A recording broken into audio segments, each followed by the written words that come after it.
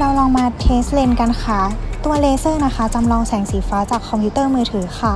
สังเกตว่า multi-coat แสงสีฟ้าทะลุเกือบร้อยเปอร์เซ็นต์เลยค่ะ ส่วน blue และ Retina นะคะ คุณสมบัติเดียวกันกรองแสงสีฟ้าได้ดี แล้วก็ทะลุน้อยมากๆ เลนส์สำเร็จรูปค่ะ ตัวนี้จะทะลุค่อนข้างมาก แล้วก็ตัวเลนส์จะค่อนข้างมีความติดเหลืองนะคะ และในเรื่องของการป้องกันคลื่นแสงสีฟ้านะคะ เลนส์สำเร็จรูปที่มาพร้อมกับกรอบก็คือ ไม่ได้ป้องกันอะไรเลยค่ะ ส่วนตัว blue นะคะ ตัวนี้จะมีการป้องกันคลื่นแม่เหล็กไฟฟ้า แล้วก็แสงสีฟ้าได้ค่อนข้างดีค่ะ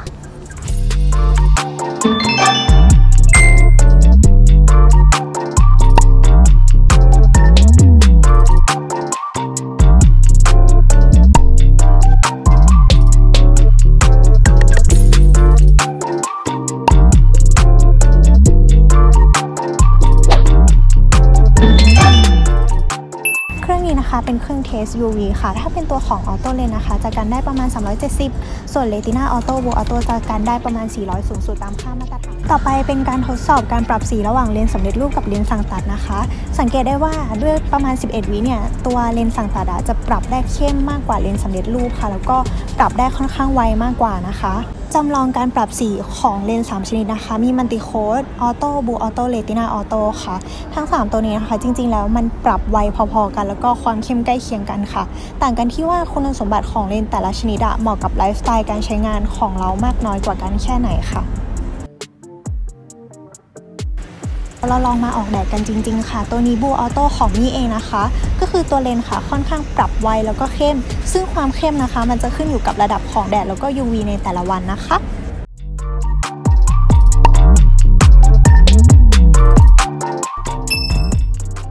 การตัดเลนกันแดดของร้าน GG g a z e t จะย้อมกันคู่ต่อคู่เลยนะคะ สามารถเลือกสีหรือว่าส่งสีมาให้ดูแล้วแจ้งค่าสายตาได้ค่ะ แล้วก็ในคลิปนะคะ เป็นรูปสดไม่ได้แต่งสีเลยค่ะ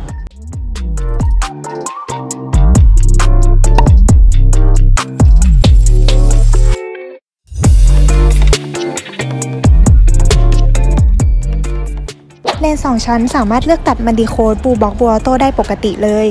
ส่วนแบบมีรอยต่อนะคะ จะเห็นรอยแยกเลนชัดเจน ส่วนถ้าเป็นโปรเกรสซีฟนะคะสองสายตาก็จริงแต่ไม่เห็นรอยต่อเลยค่ะ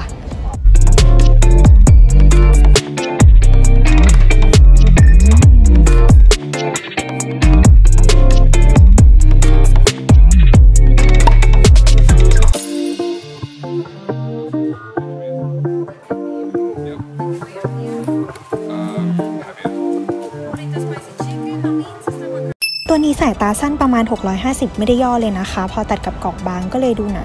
ส่วนตัวนี้ค่ะสายตาสั้นประมาณ 404.75 มีเอียงด้วยย่อประมาณ 1.74 เลนจะค่อนข้างบานและเบา ส่วนเลนชนิดนี้ไม่น่าเชื่อเลยค่ะว่าสายตาสั้น 900 เพราะว่ามันดูบางมาก ตัวนี้นะคะย่อประมาณ 1.74 ค่ะ